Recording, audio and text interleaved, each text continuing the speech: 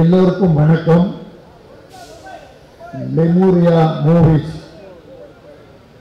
தயாரிக்கிற புரட்சி தலைவர் எம்ஜிஆர் அவருடைய பேரன் நடித்திருக்கிற இரும்பன் படத்தின் இசை வெளியீட்டு விழாவிலே கலந்து கொள்வதிலே நான் மிகுந்த பெருமைப்படுகிறேன். என்னுடைய அன்பு சகோதரர் புரட்சி தலைவர் அவருடைய நிழலாக இருந்தவர் ஜேசிபி பிரபாகரன் அவர்கள். நான் புரட்சி தலைவரை லாயிஸ் காலனி அலுவலகத்திலே பார்த்தபோது எனக்கு ஜேசிபி பிரபாகரன் அவர்கள் ஒரு இனிப்பான செய்தி சொன்னார்கள். தலைவர் மாடியிலே அமர்ந்திருந்தார். அண்டேவும் ஜேசிபி பிரபாகரனும் தலைவரிடம் பேசிவிட்டு கீழே இறங்குகிறார்கள். நான் கீழே நின்றேன். அப்போது நான் ஐயா புரட்சி தலைவர் தலைமையில் எழுதியிருக்கேன் ஜாயின் பண்ண ஒரு பதினஞ்சு நாள். அந்த நாளில் ஜேசிபியும் அண்டே வந்து நல்ல செய்தின்னு கை கொடுத்தாங்க என்னங்கன்னு கேட்டார். இல்லை தலைவர் உங்களை டெக்ஸ்ட் புக் கார்பரேஷன் அவருடைய சேர்மனாக போடுறதுக்கு ஃபைல் ரெடி பண்ணிட்டாரு. நினைவிருக்கு அப்புறமா. ஜாயின் ஏடிஎம்கே ஜாயின் பண்ண. பதினஞ்சாவது நாள். அதுக்கப்புறம் அது வேற மாதிரி ஆயிடுச்சு. நான் இந்திரா காந்தி குடும்பாவி இலங்கை தமிழர்களுக்கு விரைந்து இந்திரா காந்தி பிரதமர் நடவடிக்கை எடுக்கிறேன்னு மவுண்ட் ரோட்ல ஒரு குடும்பாவி கொடுத்தேன். அந்த ரிப்போர்ட் கமிஷனர் ரிப்போர்ட் வந்து ஐயா அந்த அது போட முடியல. ஆனா ஒரு நல்ல செய்தியை சொன்ன தேசிக்கு பிரபாகரன் எம்ஜிஆருடைய நிழலா இருந்தார். அது அது நினைவு வந்துருச்சு எனக்கு. அதனால அதை சொன்னேன். இது எனக்கு ஒரு சாதாரண விழாவத்தில் நிறைய ஆடியோ ஃபங்க்ஷன் போறேன். நிறைய போயிட்டு உங்களுக்கு தெரியும். இப்போ நான் அந்த சால்வை வேண்டாம்னு சொல்லிட்டேன். ஏன்னா நான் ரெண்டு மாசமா கதற ஆடை கைத்தறி ஆடை. அதை போடுங்க. இல்ல ஒரு புத்தகம் கொடுங்க. இந்த இது வந்து ராஜஸ்தான்ல தயார் பண்ற திகின ஆடை. இதனால ஒரு யூஸ் ஆகுது இருக்கா? முகம் கொடுக்க முடியுமா? இல்ல ஏதாவது ஒரு குழந்தைக்கு போர்த்த முடியுமா? பெரியவங்களுக்கு குழுவுக்கு போர்த்த முடியும்? எதுவும் இல்லை. அது பயனற்ற மனிதர்கள் பல பேர் வாழ்ந்துட்டு இருக்கான் அப்படி ஒரு ச- துணி அது. அதனால அது வேண்டாம். நம்ம ஈரோடு சேலம் கோயம்புத்தூர் இங்க சைதாப்பட்டு. நெசவாளர்கள் வைக்கிற இந்த கதராடையை வாங்குங்க. அது இதை விட கொஞ்சம் சீப்பாக தான் இருக்கும். அதை போட்டா உடம்பு துடைக்கலாம். இல்லை யாரோ ஒரு பெரியவங்களுக்கு கொடுக்கலாம். இப்போ எனக்கு அதான் அந்த மாதிரி வந்தால் பெரியவங்க வயசானவங்களுக்கு கொடுத்துட்டு போயிடுங்க. அது பயனுள்ளதாக இருக்கட்டும்னு சொல்லி மூணு மாசமா ஆடியோ ஃபங்க்ஷனில் இதை தான் வாங்கி போடுறாங்க என்னுடைய சகோதரர்கள். ஆனால் நான் தம்பிகளுக்கு சொல்லலை. இங்கே சொல்லியிருந்தா இவங்களை செஞ்சுருப்பாங்க. அதனால் போட்டாங்க அதை இனி நான் போட்டுக்கிறது இல்லை. முந்தா நாள் திருமாவளவனுக்கு நான் வாங்கிட்டு போயிட்டேன் மறந்துக்கிற இது மாதிரி. கதராடை கிடைக்கல. அர்ஜென்ட்டுக்கு வாங்கிட்டு போயிட்டு என்ன பண்ணேன்? அஞ்சாயிரம் ரூபா ஃபைன் கட்டிட்டேன் மேடையிலே. இது நான் வாங்கி வந்தது தப்பு. அந்த தவறுக்காக ஒரு ஐயாயிரம் ரூபாய் திருமாவளவனுக்கு நான் ஃபைன் கட்டுறேன். ஆனால் அந்த ஐயாயிரம் ரூபாய ஏழை தாய்மார்கள் இந்த இட்லி வியாபாரம் பூ வியாபாரம் பண்ணுறாங்க இல்லையா தாய்மார்கள் வயதானவங்க. அவங்களுக்கு ஒரு ஆயிரம் ரூபா ஆயிரம் ரூபா நீங்கள் உங்கள் பேரால் நன்கூட கொடுங்க. அப்படின்னு அந்த ஐயாயிரம் ரூபா நான் கட்டினேன். மூணு நாள் ஆச்சு. ஒரு கொள்கை. எனக்கு என்னன்னா புரட்சி தலைவர் நான் நிறைய கேள்விப்பட்டிருக்கேன். ஆனா பார்த்தது பழகுறது ஒரு ஆறு மாசம். ஐயா உடல் நலம் இல்லாம அமெரிக்காவுல இருந்து வந்து முதலமைச்சராக இருந்தாங்க இல்லையா? அப்ப பார்த்தேன்.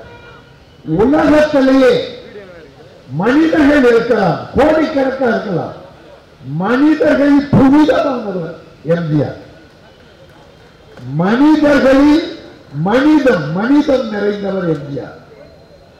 அடுத்தவர்கள் படுற கஷ்டத்தை பார்க்காதவர் பார்த்துட்டு அனுதாபம் தெரிவிக்க மாட்டார். அதுக்கு உதவி பண்ணுவார். எம்ஜிஆர் என் எஸ் கிருஷ்ணன் என்ற Kalaivanar. Kalaivanar N S Krishnan. வள்ளல் பெருமகனார்.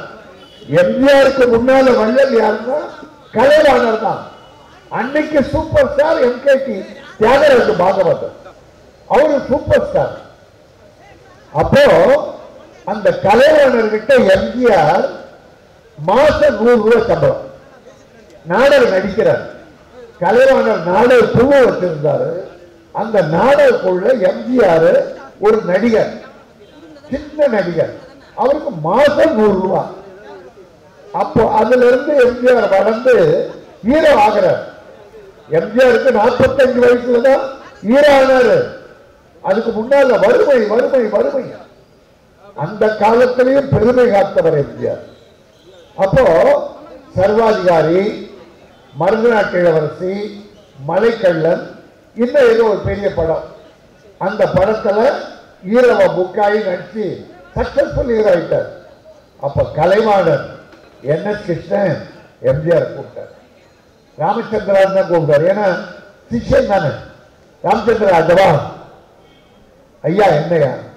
இப்ப பாரு நீ பெரிய ஹீரோ நீ என்ன தெரியுமா பண்ணணும் யாரை மறக்க கூடாது தெரியுமா? இப்ப உங்களுடைய படங்கள் ரிலீஸ் ஆக போது இந்த ஒன்றைனா ரெண்டரைனா டிக்கெட் வாங்கி ஒன்றைனா டிக்கெட் வாங்குறவன் தரையில் உட்காரணும். அந்த காலத்துல. ரெண்டரைனா டிக்கெட் வாங்க பெஞ்ச் போட்டிருப்பாங்க. சோஃபால கிடையாது. அதுல உட்காரணும். அந்த ஒன்றைனா ரெண்டரைனா டிக்கெட் வாங்கி உன்னை வளர்த்து விடுறாங்க ஒரு ரசிகன் அவனுக்கு நீ உதவி பண்ணணும். அவனை நீ வாழ்நாள்ல மறக்க கூடாதுன்னு அந்த வள்ளல் கலைவான சொன்னத கடைசி காலம் வரைக்கும் எம்ஜிஆர் பின்பற்றினார். ரசிகர்கள் ஆக்கல. ரத்தத்தின் ரத்தமான உடன்பிறவுகளாக்கிட்டார் நான் உடல் ரத்தம் ஆக்கிட்டார் ஆக அந்த ரசிகர்களை அப்படி போற்றி வந்தவர் தான் எம்ஜிஆர். இப்போ கலைவாணர் பெரிய காமெடியன். காமெடினா தத்துவ காமெடியன் இப்ப இருக்கிற பந்து பாருங்க கஷமுச்சா காமெடி அது கிடையாது. கலைமானல் ஜெயிலுக்கு போயிட்டு வந்து ஒரு படம் எடுக்கிறாரு லாஸ் ஆயிட்டார். மொத்தத்தையும் இறந்துட்டார் இறந்துட்டு உடல் நலம் இல்லாம இந்த ஜிஎஸ் ஹாஸ்பிட்டல் ஜிஹெச். நம்ம பைரஸ் இல்லையா சென்ட்ரல் அந்த ஜிஎஸ் ஹாஸ்பிட்டல் அட்மிட் ஆயிருக்காரு. அட்மிட் ஆனவருக்கு பணம் இல்லை எல்லாம். எம்ஜிஆர் அவரை பார்க்க போறார். போய் பார்த்துட்டு ஐயா நல்லா இருப்பீங்க நீங்க தர்மம் நிறைய பண்ணிருக்கீங்க. நீங்க நல்லா வாழ்வீங்கன்னு எம்ஜிஆர் சொல்லிட்டு ஒரு பண கட்டு கொண்டு போய் கலைவாணர் கையில கொடுக்கல. அந்த தலையை பின்னால அந்த தலையில உள்ள சொருகி வச்சு கொண்டார். கலைவாணருக்கு தெரியாது. அப்ப எம்ஜிஆர் கூட போனவர் வெளியே வந்தோடனே என்னையா அவ்வளோ பணம் கொண்டு போய் கலைவாணர்கிட்ட கொடுக்கூடாதா அது ஏன் தலையில் சொருகி வச்சா? வச்சீங்கன்னு கேட்ட எம்ஜிஆர் சொன்னார் யோ அவங்கக்கிட்ட நான் சம்பளம் வாங்கினமையா என் சாப்பாடு அவர் கொடுத்த பணையா? நான் போய் அவர் கையில பணம் கொடுக்கறதா? நான் வேலைக்காரன் அவருக்கு நான் கொடுத்து அவர் வாங்கக்கூடாது. ஐயோ உலகத்துல அப்படி ஒரு மனிதன் கிடையாதுங்க எம்ஜிஆர் மாதிரி. அப்படி மனிதர்களுக்கு வழிகாட்டிய மகன் மனித தெய்வம் எம்ஜிஆர். அந்த அப்படி பண்ணது மட்டும் இல்லைங்க என்எஸ்கே இறந்துட்டார். காலமாயிட்டார். சரி எவனாவது நினைச்சு பார்க்கலாமா இன்னைக்கு? தன்னை வளர்த்து விட்டவங்களை இன்னைக்கு இருக்கிற ஹீரோ யார் வேணா நீங்க யோசிச்சு பாருங்க. யாராவது தன்னை வளர்த்து விட்டவங்களை இன்னைக்கு நினைச்சு பார்க்கறாங்களா? இப்போ இருக்க ஹீரோ ஆனா எம்ஜிஆர் என்ன தெரியுமா பண்ணாரு? கலைவாணருடைய மூணு பிள்ளைகள். மூணா நாளா எனக்கு நினைவில்லை. ஒரு பொண்ணு ரெண்டு பிள்ளைகளுக்கு படிக்க வச்சார். பெரிய படிப்பு படிக்க வச்சார். மொத்த செலவு எம்ஜிஆர் ஏற்றார். படிக்க வச்சது மட்டும் இல்லைங்க அவங்களுக்கு எல்லாம் வேலை வாங்கி கொடுத்தார். பேங்க்ல பெரிய பெரிய வேலை வாங்கி கொடுத்தார். அது மட்டும் இல்லைங்க ஒவ்வொரு பிள்ளை கல்யாணத்தையும் அஞ்சு நாள் நடத்தினாருங்க எம்ஜிஆர் என்எஸ்கே பிள்ளைகள் தன்னுடைய குருநாதர் தனக்கு சோறு போட்ட என்எஸ்கேவை பிள்ளை அவர் இறந்த பின்னால ஒவ்வொரு கல்யாணத்தையும் அஞ்சு நாள் நடத்தினார். விழாக்கோலம் பூண்டது அந்த காலம். அதை பார்த்தவங்க என்கிட்ட சொன்னாங்க என்ன என்எஸ்கோடைய மகள் இருக்கு இப்போ. மகன் இருக்காரு அண்ணா நகர்ல. அவர் இந்த வரலாறு எனக்கு சொன்னார். அப்படி நன்றி மறக்காத ஒரு தெய்வம் தான் அந்த எம்ஜிஆர் என்பவர். ஒரு எம்ஜிஆர் சி சிஎம்மாக இருக்கார். அப்போ உடம்பு நல்லா இருந்தது. சிஎம்மாக இருக்கும்போது ஒரு கல்யாண பத்திரிகை ஒரு யாரோ ஒருத்தன் தொழிலாளி எம்ஜிஆருடைய ரசிகை கொண்டாந்து ஆஃபீஸில் கொண்டு போயிட்டான் சிஎம் ஆஃபீஸில் அந்த பிஏக்கள் எப்படியோ மறந்துட்டாங்க. கல்யாணம் நாளைக்கு. இன்னும் நைட்டு எம்ஜிஆர் கையில் கிடைக்குது. அந்த பத்திரிகை எம்ஜிஆர் கையில் நைட்டு கிடைக்குது. பிஏ பிடிச்சி திட்டுறாரு. எப்படி யாருங்க?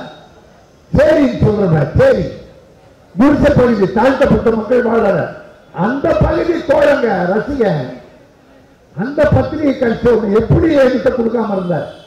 ஏன் ப்ரோக்ராம் சொல்லாம இருந்த சட்டம் போட்டுட்டு மறுநாள் காலையில எம்ஜிஆர் ஏழு மணி கிளம்பி காரில் போறாரு. போலீஸ் முன்னால் ஒரே ஒரு ஜீப் போகுது.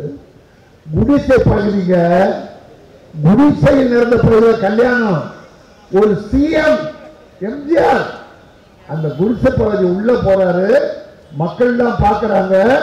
ஏதோ ஒரு கார் வருது. அந்த கல்யாணத்துக்கு முன்னால ஒரு எம்ஜிஆர் இந்த தெய்வம் ஏற இறங்கிச்சுங்க. அந்த கல்யாண வீட்டுக்காரன் பார்த்து இவங்க முருகர் விநாயகர் கிருஷ்ண பரமாத்மான்னு சொல்றாங்களே. அத அன்னைக்கு அவன் பார்த்தாங்க. ராமச்சந்திர மூர்த்தி என்கிற கடவுளை அந்த குடிசைவாசி பார்த்து ஐயான்னு காலில் விழுந்தாங்க. ஏன்னா அவன் எதிர்பார்க்கல எம்ஜிஆர். நான் இன்னைக்கு சேலஞ்ச் பண்ணி சொல்றேன். இந்த ரசிகர் பெருமாக்கள் வளர்ந்தாலும் இன்னைக்கு இருக்கிற ஹீரோ. இப்ப இருக்க ஒவ்வொரு ஹீரோவும் சொல்றேன். நான் பேர் சொல்லுவேன் எல்லாரும். இது ரசிக பெருமக்கள் கொடுத்த பணத்தாலே கோடீஸ்வரனா இருக்கிற இந்த ஹீரோக்கள் எந்த கல்யாணத்துக்காவது முதல்ல போறாங்களா ராணி மையம் இருக்கட்டும். பெரிய பெரிய மாடியில் நடிக்கிற கல்யாணத்துக்கு போறாங்களா? போறதில்லை. அந்த தெய்வம் குடிசை பகுதியில் நடந்த ஒரு ஏழை தொழிலாளி வீட்டு கல்யாணத்துக்கு போச்சுங்க. அந்த குடும்பத்து பேரங்க தம்பி ஹீரோ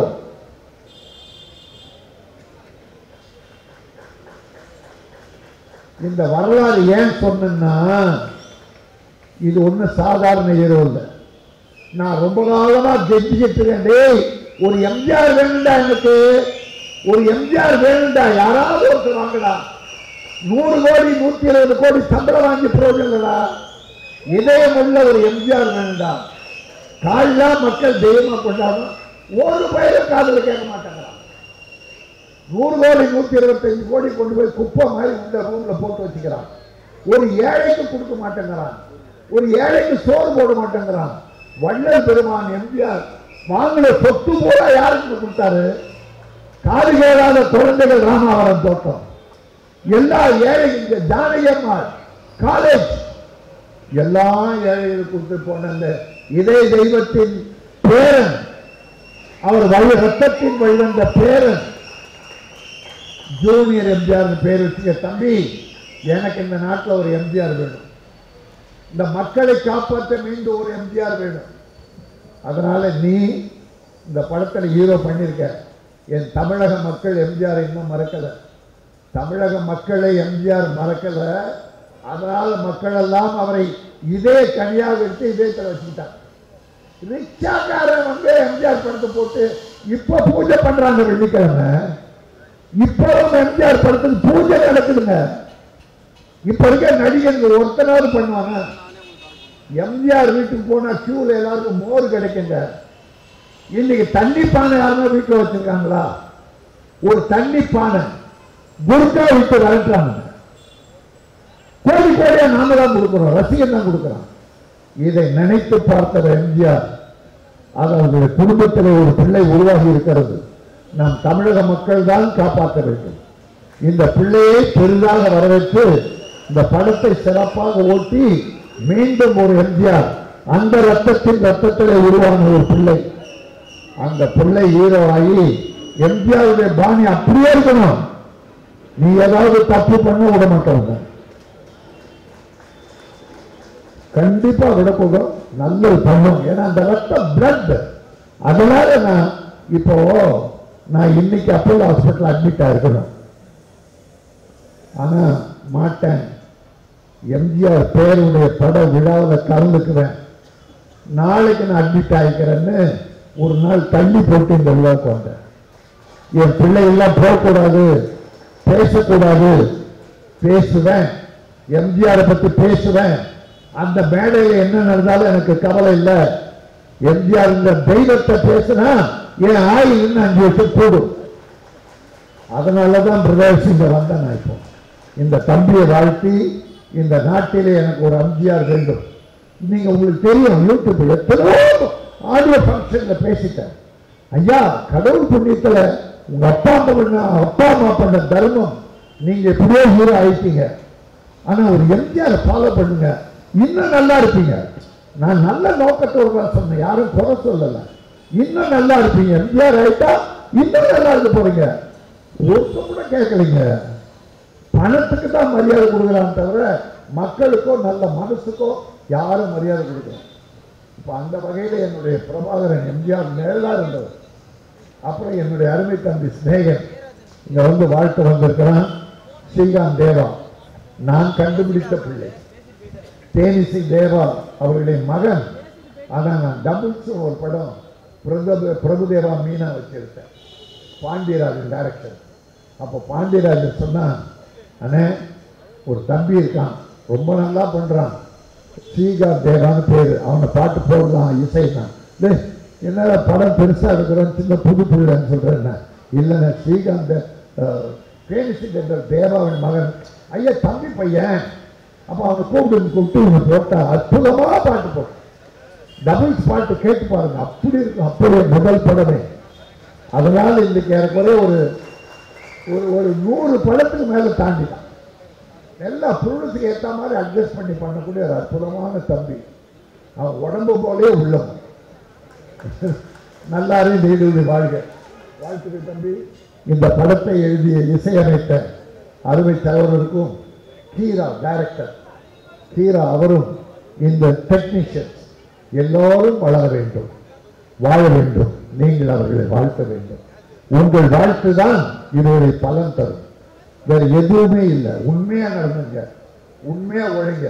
மக்களுக்காக பாடுபடுது அந்த மக்கள் எம்ஜிஆரை இதயமாக ஏற்றுக்கொண்டது போல உங்களை ஏற்றுக்கொள்வார் என்று சொல்லி இந்த வாய்ப்புக்கு நன்றி என் அருமை தம்பிகளே நீங்கள் எல்லாம் நீடூழி வாழ வேண்டும். எம்ஜிஆர் இந்த தெய்வத்தை நினைத்து பாருங்கள். மனித தெய்வம் என்றால் அது எம்ஜிஆர் தான். வாழ்க இரும்பன் படம் வெற்றி பெற வாழ்த்துகிறேன். நன்றி வணக்கம்.